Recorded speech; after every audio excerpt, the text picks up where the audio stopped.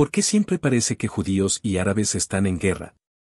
Es una pregunta que muchos se hacen, y quizás pienses que la respuesta es tan antigua que ya no tiene relevancia hoy. Pero, ¿y si te dijera que todo tiene su origen en una historia tan fascinante como trágica, en decisiones que se tomaron hace miles de años y que aún hoy resuenan en los conflictos modernos? En este video, desentrañaremos esas raíces bíblicas y veremos cómo un simple acto de desesperación puede dar lugar a rivalidades que perduran por generaciones. Pero ojo, no te equivoques, lo que descubrirás aquí no es lo que te cuentan todos los días. El origen de este conflicto te sorprenderá y, quizás, te haga ver la historia de una manera completamente diferente. Si crees que conoces la respuesta, prepárate para cuestionar todo lo que sabías. Al principio, hubo una promesa, una que no solo marcó el destino de Abraham, sino también el de naciones enteras. A medida que la historia se desarrolla, es imposible ignorar el papel crucial que esta promesa tiene en el conflicto bíblico entre los judíos y los árabes. Abraham, un hombre común pero con una fe extraordinaria, recibe una promesa divina que cambiaría la historia para siempre. Esta promesa no solo influiría en su legado, sino también en el destino de sus hijos, plantando las semillas de una rivalidad que perduraría a lo largo de los siglos. Y así, este legado, tan lleno de expectativas, comienza a entrelazar las vidas de sus descendientes. Ahora bien, ¿qué sucede cuando las expectativas no se cumplen de inmediato? La espera de Abraham y Sara para concebir un hijo puso a prueba su fe, y, como en muchas historias, la paciencia tiene sus límites. La desesperación de Sara ante su infertilidad los llevó a buscar soluciones humanas para lo que parecía ser un problema divino. Aquí entra Agar, la sierva egipcia, quien, en un giro inesperado, se convierte en madre de Ismael. Este evento sería el inicio de tensiones que afectarían no solo a esta familia, sino al destino de sus futuros descendientes. El nacimiento de Ismael, lejos de ser una solución definitiva, sembró la discordia. Lo que parecía ser un plan práctico para cumplir con la promesa divina pronto se convirtió en una fuente de conflicto entre Sara y Agar. A pesar de que Ismael también formaba parte del legado de Abraham, la llegada de Isaac, el hijo prometido, intensificó las rivalidades. Y es aquí donde las tensiones entre estas dos líneas familiares comienzan a reflejarse en las relaciones futuras entre los judíos y los árabes. ¿Te das cuenta cómo las decisiones de hace miles de años aún tienen ecos en los conflictos modernos? A medida que la historia continúa, vemos cómo la desesperación de Sara la llevó a tomar una decisión que cambiaría el curso de su vida y de su linaje. Su incapacidad para concebir la sumió en una angustia que muchas personas pueden entender, y en un acto de desesperación, propuso que Abraham tuviera un hijo con su sierva Agar. Esta decisión, aunque común en las costumbres de la época, sentó las bases para un conflicto que no solo afectaría a su familia, sino también al futuro de los judíos y árabes. Abraham aceptó, pero lo que parecía ser una solución rápida desencadenaría años de tensión y rivalidad. El nacimiento de Ismael no trajo la paz que Sara esperaba. Al contrario, la llegada de este hijo solo aumentó las tensiones. Agar, ahora madre, empezó a ser vista con nuevos ojos por Sara, y lo que antes era una relación de servidumbre se convirtió en una rivalidad llena de celos y desconfianza. Ismael, aunque también parte del legado de Abraham, no era el hijo prometido, y su existencia comenzó a representar una amenaza para la promesa que Sara creía que solo su hijo Isaac debía cumplir. Este ambiente tenso empezó a distanciar a las dos mujeres, y con ellas, a sus futuros descendientes. Cuando Isaac finalmente nació, las cosas solo se complicaron más. El conflicto entre Ismael e Isaac no era simplemente una pelea entre hermanos, representaba mucho más. Era la batalla por el cumplimiento de la promesa divina. Isaac, el hijo de la promesa, y Ismael, el primer hijo, se convirtieron en símbolos de un conflicto que perdura hasta el día de hoy. Las tensiones entre ellos no solo afectaron a sus madres, sino que sentaron las bases para las divisiones entre los judíos y los árabes. Y, curiosamente, esta historia es solo el comienzo de algo mucho más grande. La tensión entre Ismael e Isaac se volvió un reflejo de algo mucho más profundo que una simple rivalidad familiar. Las expectativas divinas y sociales comenzaron a pesar sobre ambos. Ismael, aunque no era el hijo de la promesa, recibió una bendición de Dios que aseguraba que su linaje también sería grande.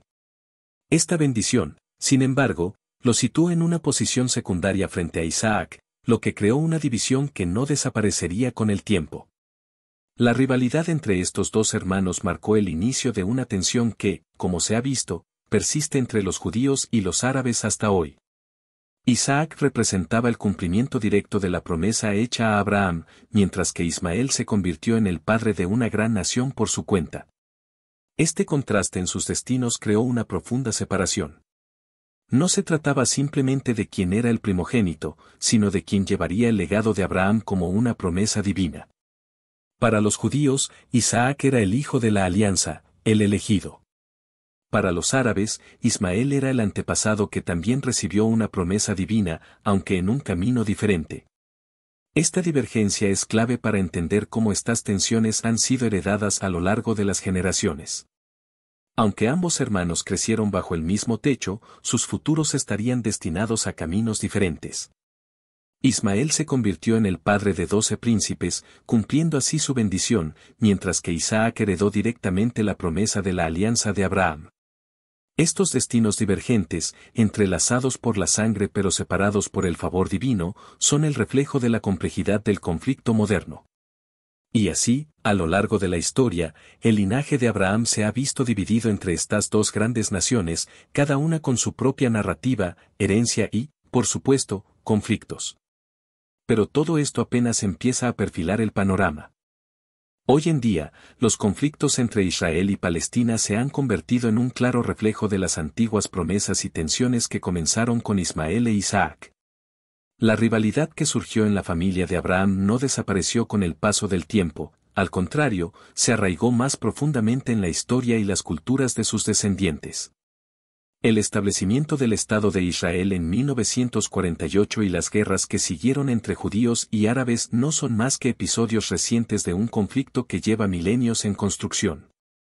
Es curioso ver cómo promesas tan antiguas aún influyen en la vida moderna. La Biblia, sin embargo, siempre ha tenido una visión más amplia.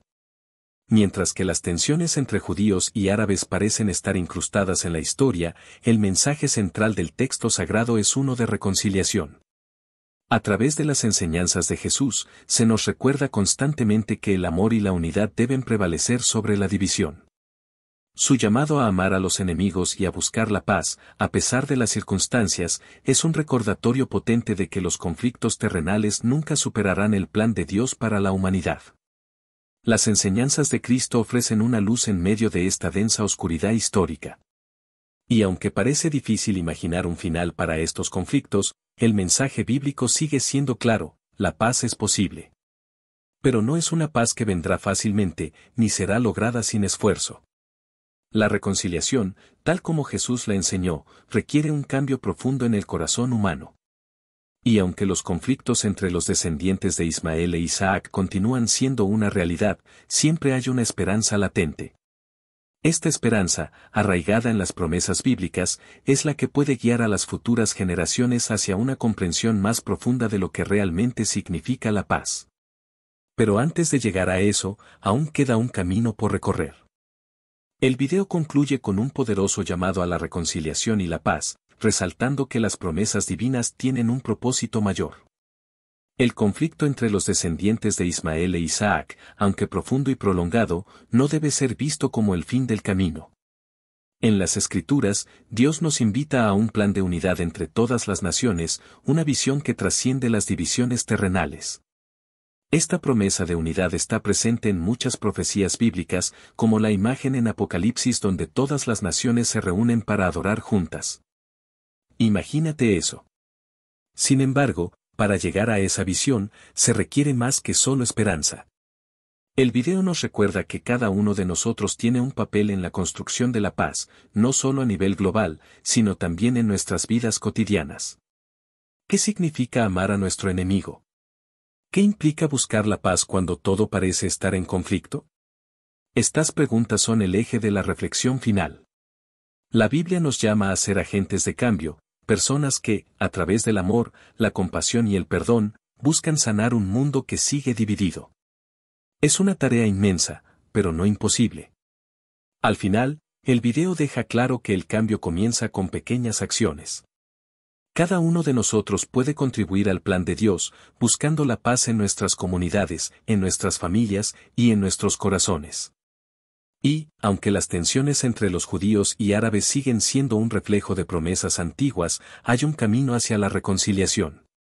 Quizás no sea inmediato, pero el video deja entrever que la promesa final de unidad está más cerca de lo que imaginamos.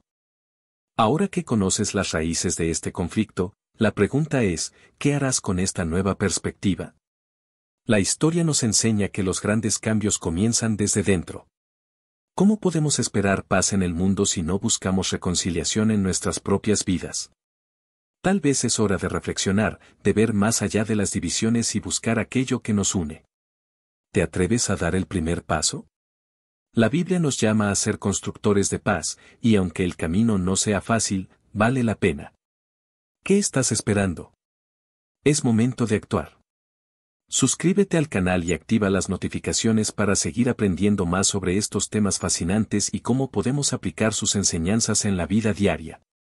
¿Estás listo para ser parte de algo más grande?